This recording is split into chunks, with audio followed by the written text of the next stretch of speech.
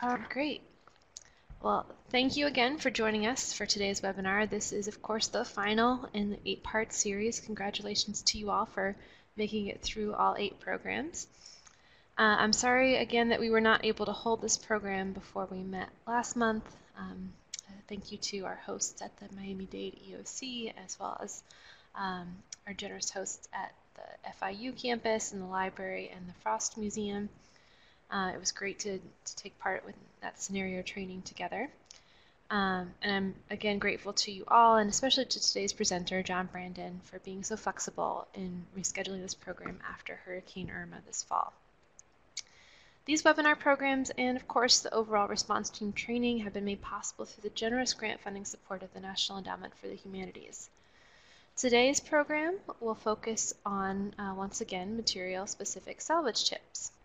As was the case with our previous programs, the presenters on these material-specific salvage programs are conservators who also serve as team members for the National Heritage Responders.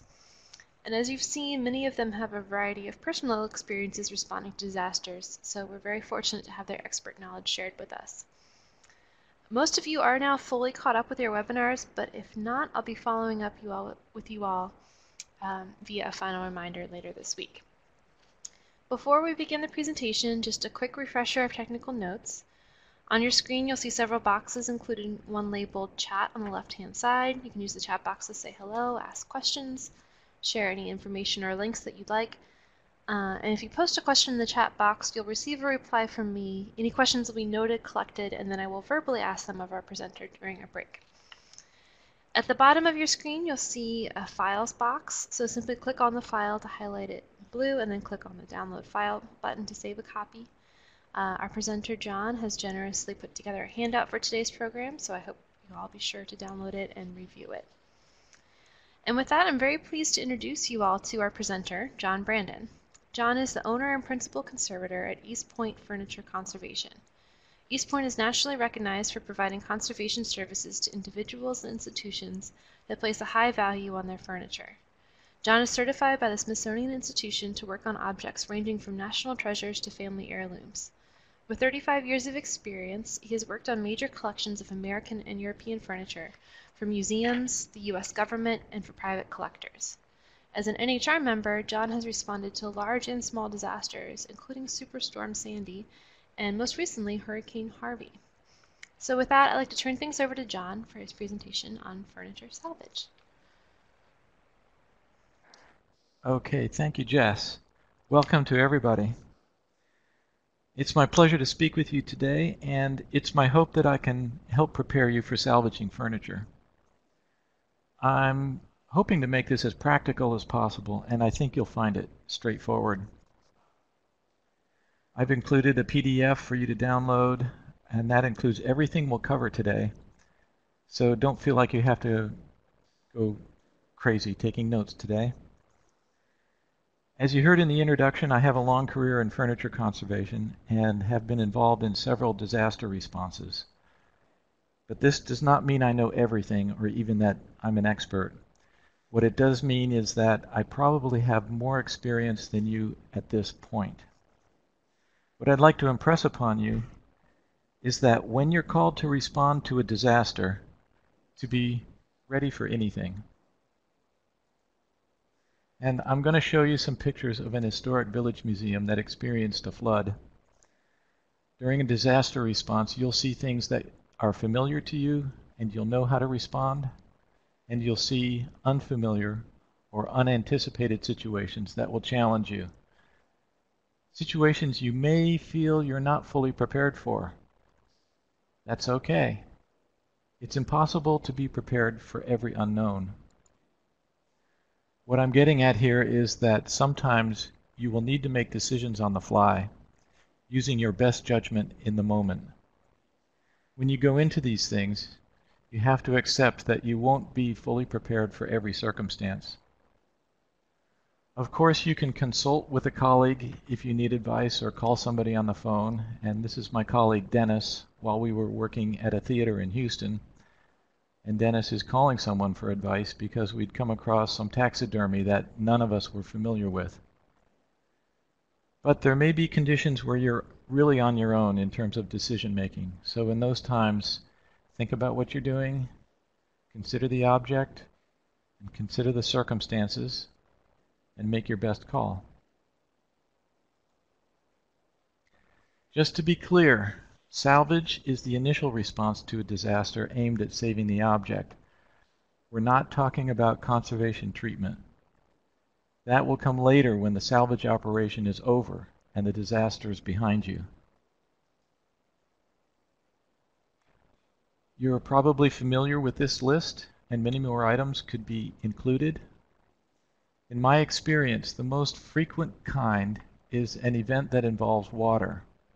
Even if it's a fire event, there's usually a heavy water component because of the fire department blasting everything with their water hoses, or the sprinkler system in the building has soaked everything.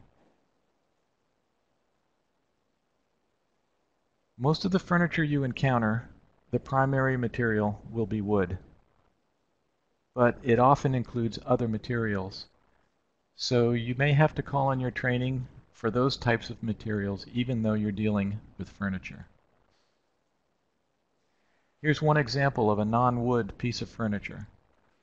While there is probably wood underneath the seat that holds the frame together, it is primarily leather and horn, plus the upholstery foundation.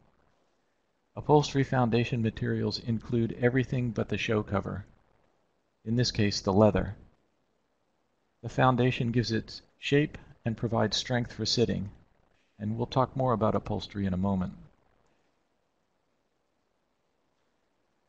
Wood is a relatively durable material. It falls somewhere in the middle in the range of durability of objects, and we can prioritize furniture based on how it is constructed, such as having veneers, or the materials that are attached to it, such as gold leaf or upholstery.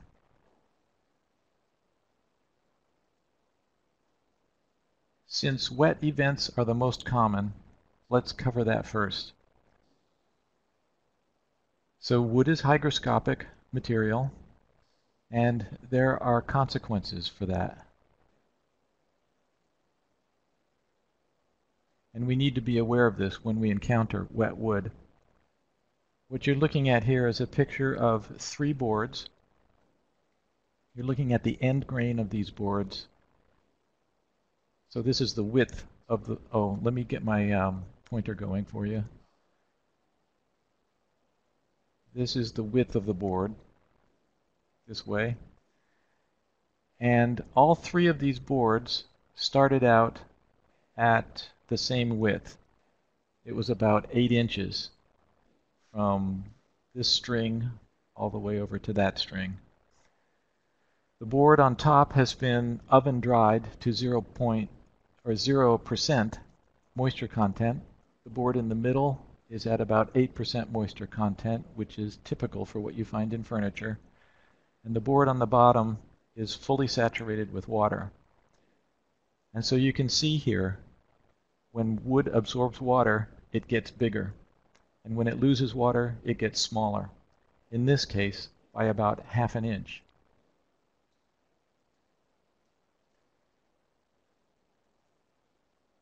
So things to look for with wet wood. It's going to take on the weight of the water it absorbs. High humidity will activate mold growth. Veneers and joinery will delaminate because of water-soluble adhesives, and veneers can become deformed, either when they get wet or as they dry out. As we just saw, wood will expand when it gets wet and this can cause doors and drawers to get stuck shut.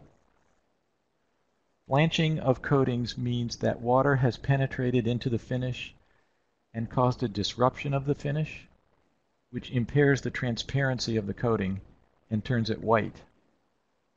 I'm going to show you some examples of these conditions, and then after that, we'll look at salvage procedures. Here's an example of a phone operator switchboard that is housed in a wooden cabinet, and this piece was almost completely submerged in water. In fact, you can see the high water mark right here on that left-hand side of the cabinet.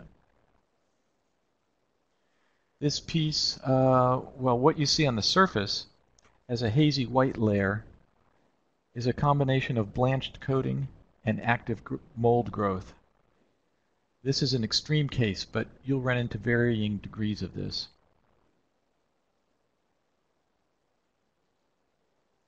Here's an example of active mold on legs of a table, and you may be more familiar with seeing mold that looks like this.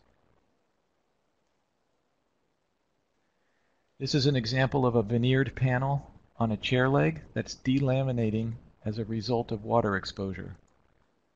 So we're talking about this panel right here, and there's the delamination right there.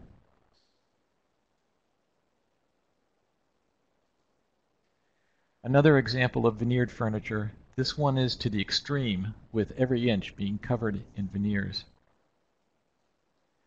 And that's, this is that same desk showing one side of it in raking light, which demonstrates how extensive veneer delamination can be. These are parts of a table that are detached because of exposure to water. Some structural pieces and some veneers. When you encounter loose elements, they should be gathered up, labeled, and placed in some kind of container for safekeeping so they don't get lost. You might be tempted to place them in a plastic bag, which is standard museum practice for those of you in collections care. But if the items are wet, it's not good to enclose them in plastic because it won't allow them to dry and it promotes mold growth. You're just creating a little microclimate inside that plastic bag. So in this example, I'm showing the pieces stored in a drawer that's part of the table with an identifying label. A small cardboard box could work just as well. Here's an example of joinery that is separating.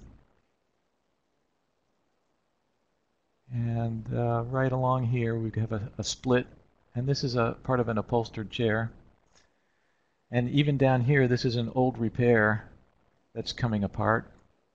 And again, this is usually due to water-soluble adhesives that get wet.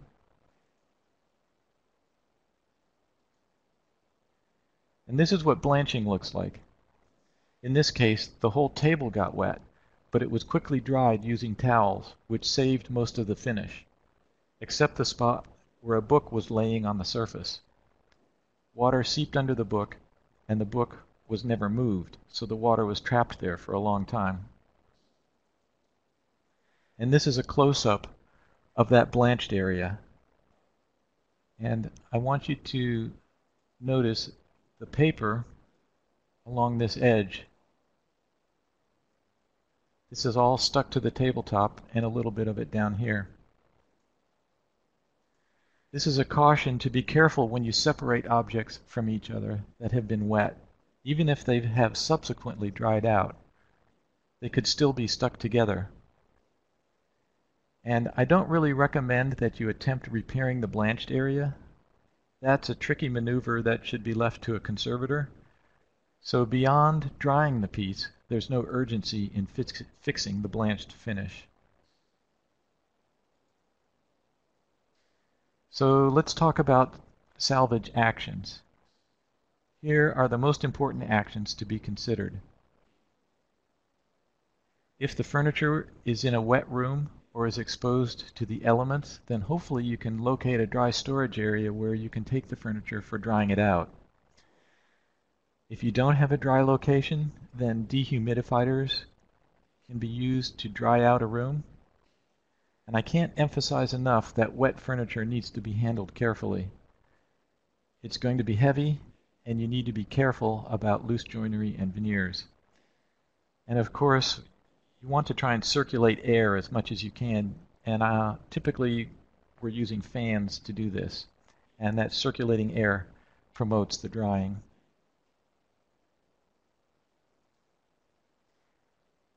This is an example of a dry storage area where wet objects have been moved.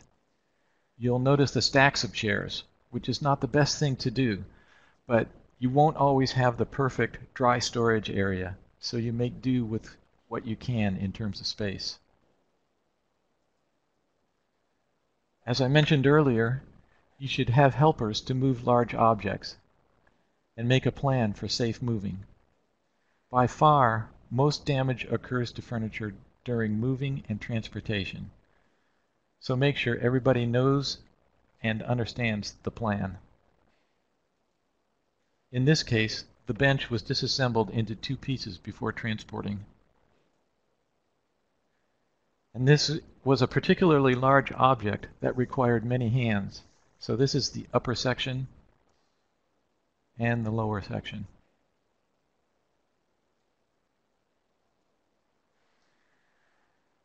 Perhaps you can't move objects to a dry location for whatever reason, or maybe only the floor is wet at the site, in which case raising the object off the floor using blocks may be the most expedient solution, and then you could use a dehumidifier to dry out the wet floor.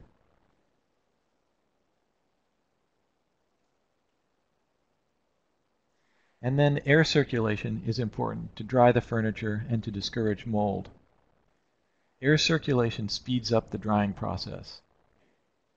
Don't use hot air. You may have seen commercial salvage companies using hot air blowers to dry out a wet house. Those are not good for furniture. They dry the wood way too fast, which promotes distortion of wood, deteriorates finishes and glues, and causes rapid shrinkage of veneer and gilding. The idea is to dry the wood slowly to prevent distortion, cracking, or splitting. So in this room we have, you can see two fans running, but we had several fans spaced around this room to keep the air circulating.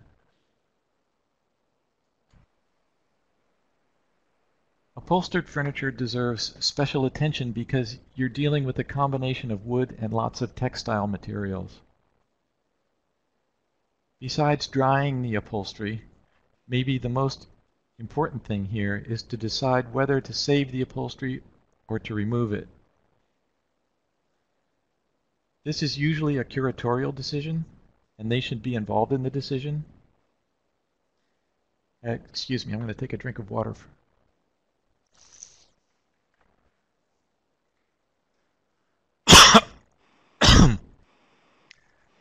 Hmm. Pardon me.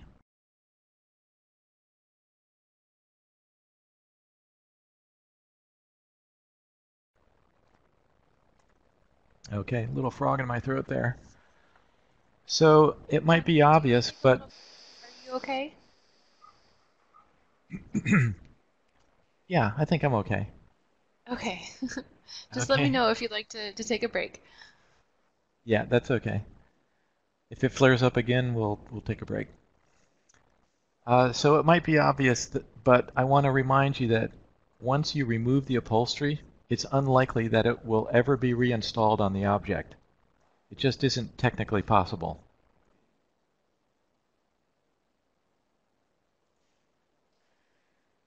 So here are a couple of upholstered pieces, these little love seats. And They are part of an historic house museum, and they experienced a broken water pipe in the ceiling, so the water rained down on everything that was in the room below, including these pieces of furniture. And these belonged to a Civil War general in the Union Army, and they retain their original upholstery, which is pretty rare. And the curator, who you see here in the orange jacket, had said that she would really like to save this upholstery if it's at all possible. And it is possible. It requires lots of air circulation. So we moved them upstairs into this dry room and turned on lots of fans, and we let those fans blow on these pieces of furniture for about three weeks. It takes a long time to dry out all of the upholstery. And this is one of the chairs from that same suite of furniture that got wet. You can see some of the damage to the upholstery on the show cover on the seat. And here's a close-up of that same chair. You can see the dirt and the tide lines. And at this point, we were still thinking there's, there could be a way to save this upholstery and to clean it. And then we looked at the back of the chair, and this is behind one of the arms, and we've removed some of the fringe, the fringe trim from the back of the arm. And that's where we saw what the original color of this fabric used to be, and the rest of it had faded. So at this point, it was decided we would remove the show cover, the show cover only, and try and save the foundation materials. So here's that same chair with the show cover removed and all of the original foundation materials intact. The foundation includes springs, webbing, horsehair stuffing, cotton batting, and the muslin covers. And you'll notice the original tufting was preserved. And so that would be, for those of you that aren't familiar with upholstery, the tufting are these wells in the back of the chair where the buttons are holding a deep depression. And they're also present on the seat. So this is historic foundation workmanship and worthwhile saving because it number one it's original we see what materials they were using and we can also examine their workmanship from the period and this is the chair after the reinstallation of not reinstallation but when the the new fabric was installed still retains its original upholstery foundation material but in some cases it may not be advisable to try and save the upholstery.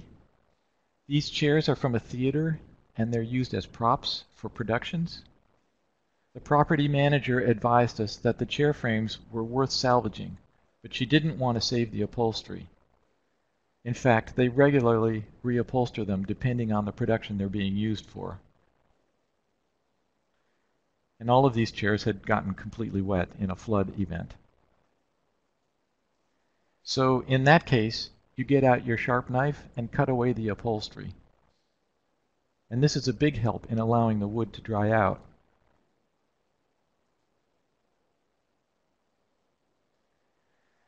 So I'm going to talk just briefly about removing mold. This is starting to get into the realm of treatment, but it's pretty straightforward, and I think it's within your capacity to attempt if you have the time and the inclination. So the first thing I'll mention is uh, number one on this list, which is the mold must be dry before attempting to remove it. If you try and wipe up or vacuum wet mold, you're just going to smear it. So here's an example of the underside of a table that has mold growing on it. And so it's the white spots that you see on the bottom of the table. And once this is dried, the first step is to vacuum it using a HEPA filter. And this removes everything that's loose on the surface. The next step after vacuuming is to wipe up any remaining mold so the vacuum doesn't get all of it and a lot of it remains adhered to the surface. And here I'm using a paper towel that's been dampened with a solvent. The solvent is a mixture of alcohol and water mixed at a one-to-one ratio. And this is what you get after you wipe old bare wood. This is dirt and grime coming up off of the wood. So don't be alarmed if you're wiping a piece of bare wood and you see this happening. You're just basically cleaning, doing a cleaning job on the wood. And I mentioned that I was using alcohol as the solvent here. This is an important point that I want to bring out is that alcohol is safe to use on bare wood because there's no finish here. And alcohol also will kill any remaining mold spores. But if you're working on a piece of furniture or a part of the furniture that has a finish on it, you cannot use alcohol because alcohol will attack that finish. So in that case, I recommend using mineral spirits as the solvent. And here I'm wiping the mold away with a paper towel dampened with mineral spirits. Mineral spirits is benign to almost every furniture finish. Of course, you want to do a little testing in an out-of-the-way area, but nine times out of ten, you're going to find that mineral spirits is safe to use on a furniture finish. And I'm just talking about hardware store variety mineral spirits. And I recommend the odorless kind. This is what I use for my alcohol mixture. I mix it up half and half with distilled water. And again, it's just your hardware variety alcohol. This works fine. If that's not available or you would prefer to use isopropyl alcohol, you can do that. It's available at the drugstore. And this particular container came already at 50% concentration. So now let's cover a fire situation. And the main thing here is careful handling to prevent further damage. You can imagine charred wood being very fragile and crumbly, so you don't want to be picking things up and grabbing it by that area. And also, handling things that have soot or ash on them, you have to be very careful uh, because just touching the surface of something that has soot on it, you can drive the soot further down into the surface. And believe it or not, we were able to salvage some furniture, or a lot of furniture, from this client's fire. And this is what you'll see in the aftermath of a fire. It's always a mess. And not only is there smoke, soot, and ash, but everything is soaking wet from the fire. And as I was preparing for today's webinar, I realized that dealing with fire is similar to dealing with a wet event. It includes drying, vacuuming, and air circulation. And what I want to impress on you is the first item on the list, to avoid touching the surface of soot and ash. That can cause a real problem when it comes time to clean the object. So if you need to pick something up, try and get it from underneath or grab it from a non-presentation surface. I'm not going to go into cleaning soot and ash very far because it's tricky and I think it's best left to a conservator. Or possibly a conservator could consult to develop the best cleaning protocol and then train some volunteers how to do it. But it can be a risky treatment.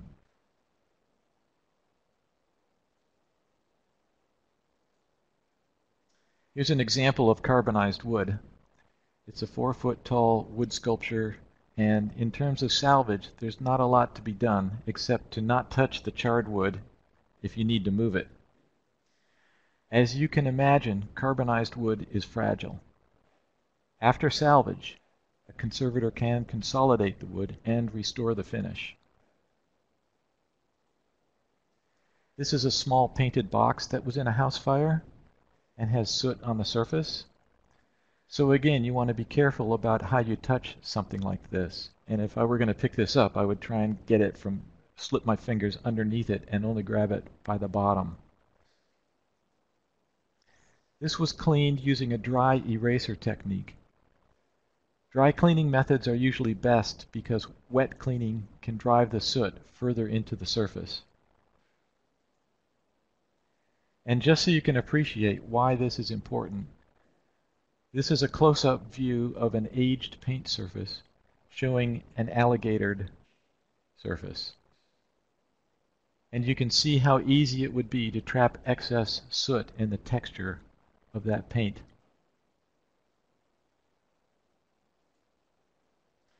I want to give you an idea of how smoke and soot can penetrate an object.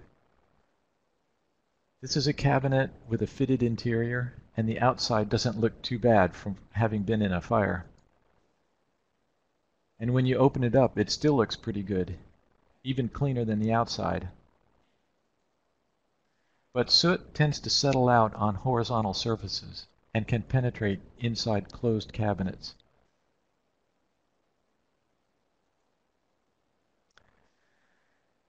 So that covers my salvage portion of the presentation, and I'd like to finish up by showing you two examples of how a disaster plan can make or break the recovery from an event. I think it's worthwhile to just take a couple of minutes to do this.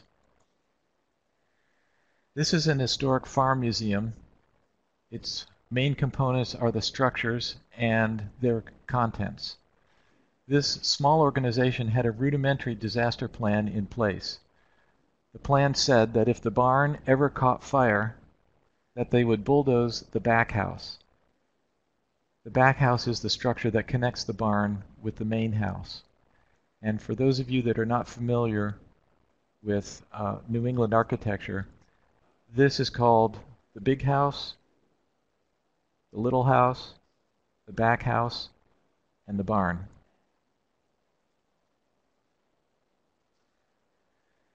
So by bulldozing the back house, they would break the connection to the main house. And this was a conscious decision to sacrifice a portion of the building in order to save the rest of the house and its contents. Unlucky for them, they did experience a raging barn fire. But the plan was executed, and they successfully saved the main house with all the contents. And there's a little more to this story. From where I was standing when I took this picture, behind me is a chapel on the grounds. And this is the chapel. It's about a hundred yards away from the house. And on the night of the fire, they carried out the second part of the plan, which was to hand carry collection items from the house over to the chapel. So they organized a human chain and moved everything into the chapel. And here is a success story, and it relied on having a disaster plan. The not so good story happened at this village museum. The collections are stored in the historic structures, which you can see a, a couple of them on the right hand side of this picture. And they also have collection storage in the warehouses that you see here. They had no disaster plan and the grounds were flooded a few years ago, and the contents of all the buildings, including the warehouses, got wet. They too had a bulldozer. And while their intentions were good, the bulldozer was used to push the collections out of the warehouses and into this pile. So instead of having water damaged collections, they ended up with a pile of trash. You do strange things when you're in the grips of a disaster. So here's a case where a disaster plan would have helped them think through this scenario ahead of time.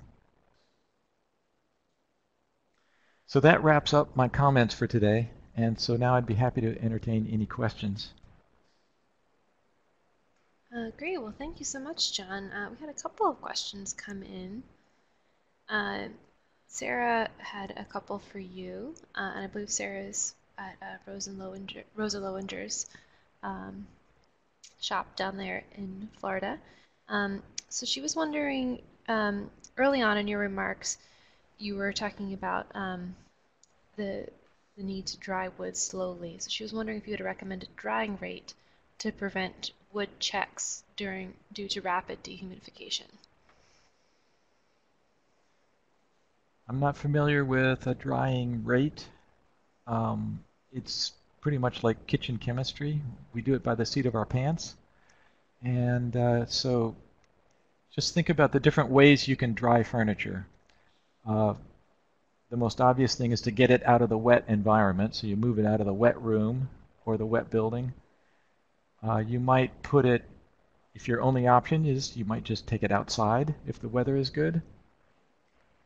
Um, I would avoid putting it in the direct sunlight because that can heat up the piece of furniture if it's in if it's a hot day and it's in direct sunlight. So a shady spot would be good. But um, a drying rate is wouldn't be something that I could recommend. I'm not familiar with a particular drying rate. Uh, you're going to expect furniture to wood to take a long time to dry out. My experience is that water can go into wood very quickly, but it takes days for it to come out. And so I think uh, the, the basic idea that I presented of having it in a dry room with fans running to circulate the air and just ambient temperature, whatever the temperature you've got in the room, it will work fine. Um, I, my biggest recommendation is to stay away from heat, though. We don't want to heat it up. Um, just to continue on this idea, uh, part of that question was to, to prevent checking. You may not be able to prevent checking if you have old wood that has was dry, gets soaking wet, and then dries out again. That may put more stress than the wood can handle, and you may end up with some checking. Um, but uh, I think the idea of drying slowly, continuously, and evenly is just what to keep in mind. Um, just a, a follow-up question on that for me. Would you have um, recommendations for how people can check in on the process of drying? Um, you know, what kind of just recommended tips you would have for how frequently they should be um, checking on the object and, and ways to make sure that it's not drying too quickly? So um, I do this just based on my experience because I'm so familiar with wood. Uh, for someone that doesn't have that same familiarity with wood, you can purchase moisture meters for wood that will measure the moisture content of the wood. And uh, it's, I don't think they're too expensive and they're very low tech. You just touch two prongs to the surface of the wood and it, it by some um, electrical measurements, it measures the amount of moisture in the wood. And but it will be obvious in the beginning. It will show you a high moisture content, mm-hmm. and then day after day that will slowly go down. And if you get it down to 12 or 8 percent, then you're getting down to a very good range for moisture content. Um, it would be difficult to get it below 8 percent unless you turn on the heat and blow hot air on your furniture. So as long as you stay away from that idea of trying to heat the furniture, you're going to be okay. Great, thank you. Um, and then Sarah had another question for you, John. Um, I was just wondering what your opinions are on using uh, sunlight or UV to kill mold, um, specifically on non-upholstered items. So once the, the piece dried and you're moving into the mold removal phase, um, what are your thoughts on, on using UV, UV to kill right. mold? Right. I think that um, those things will kill mold. I think it works very slowly. And um, I think, as we're all aware, mold spores are everywhere. We're breathing them right now. They're on our furniture. Mold just waits for the proper environmental conditions to spring to life. So if I go through my typical cleaning procedures for removing mold, and drying it out, I'm okay with that. Um, I haven't felt the need to use sunlight or UV to, to make something sterile or to, to try and get it towards sterile because I think that's an unrealistic kind of a, a, a goal. Maybe if it's something that you don't feel comfortable wiping or using any kind of solvent on, then a UV light would be the way to go. Um, I haven't had to use it in my own experience. Great. Well, thank you. Um, and then we had a question come in uh, from Lauren Hall. Um, just wondering if you have any recommendations for preventing displacement when pieces with marquetry or inlaid wood or parquet floors are drying after a water event. Um, and I don't think we've specifically addressed that, Lauren. So, um, any thoughts on that, John? Right. No, the only thing I mentioned earlier was what to do with things that are already detached. So, if you have marquetry or other inlays in wood, and so I think if I understand the question is, you're worried about them, maybe they will become detached, and you want to do something proactive to stop that from happening. So uh,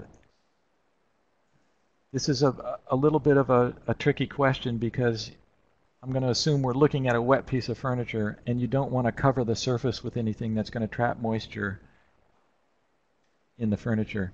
So the question is, how do you keep these things in place?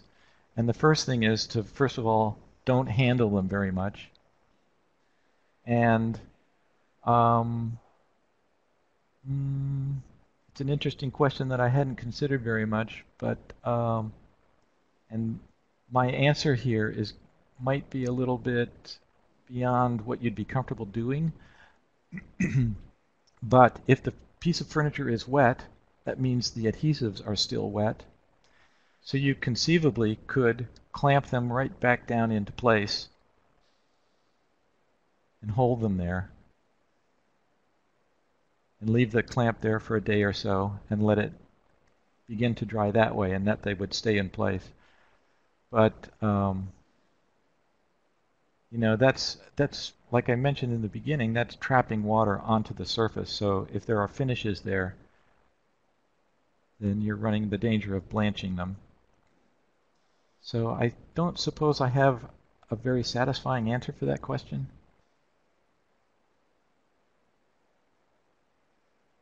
Uh, I see Lauren is typing a response now, but um, yeah, it's a it's a helpful um, way to think about things, certainly, and a, a, good question that Lauren's raised for the group. So thank you for that. Um, if anyone else has any questions, uh, do feel free to go ahead and put those in the chat window. Um, John, as I, I, mentioned to you um, when we were initially discussing this program, many of the, the participants um, who are taking part in this training, of course, being based there in South Florida, um, their institutions uh, may have suffered some of the impacts of Hurricane Irma most recently, and um, I know that many of you do have uh, furnishings in your collections as well. So if you have any specific examples of things that happened um, to any of the pieces in your collection, uh, feel free to, to share those too and, and how you might have addressed some of the water damage. Um, so Lauren, okay, I, oh, I see the Lauren's... continuation of. Uh-huh. I see her question there. Yeah. So let me just mention something about this. Hi, Lauren. Um, we we talked earlier when you had trouble down there. So your parquet floors gave you trouble, and um, I can see that being a real problem. That they would warp when they dried and wouldn't go back together correctly. So um, with a floor, you might be able to dry the floor if there's a basement. You might be able to get under there and dry the floor from underneath with air circulation blowing up on the bottom of the floor. And if that's the case, then you could put, possibly, if you can anticipate this problem happening, put some kind of a weight over the top of the parquet floor to hold them in place while they're drying out. But you can see how if you've got something over the top of the floor, the um, it's not going to be drying from the top surface. So you're going to have to have some other method of drying the floor if you've got a weight on top of the floor. And the same thing's going to be true with furniture. Um, if you're covering over a surface, it's not going to be drying very well.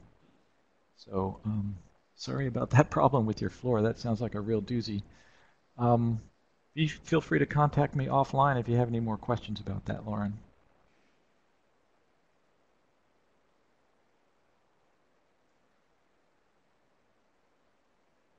Great. Well, did anyone else have any other questions for John? I haven't seen any other typing happening in the window. Um, I think you've you've given us all a lot to think about, John. So we're, we're very grateful um, for sharing your words of wisdom here.